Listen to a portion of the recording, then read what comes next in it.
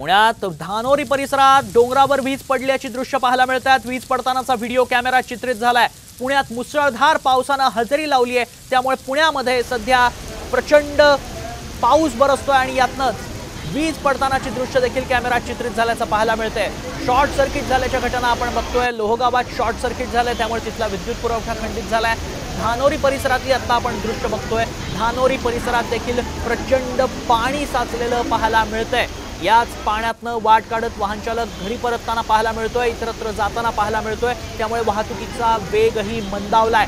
डोंगरावर इथे वीज पडलेली पाहायला मिळाली आहे त्याचीच ही दृश्य आपण बघतोय. धानोरी परिसरामध्ये पुण्यामध्ये ही वीज पडलेली पाहायला मिळाली आहे डोंगरावरती ही वीज पडली आहे. सुदैवानं डोंगर होता. डोंगरावर ही वीज पडली आहे. पुण्यात तुफान पाऊस बरसतोय. तुफान पावसाला सुरुवात झाली आहे. गेले दोन ते तीन तास पुण्यामध्ये प्रचंड पाऊस सुरू आहे. त्याचाच फटका रस्ते वाहतुकीला आहे कुठे झाडं उन्मळून पडली आहेत तर कुठे शॉर्ट सर्किट झालंय. डोंगरावरती वीज पडताना पाहायला मिळतीये. पुण्यामध्ये प्रचंड पाऊस सुरू आहे. त्याचीच एक्सक्लुझिव्ह दृश्य आपण साम टी व्हीवर बघतोय.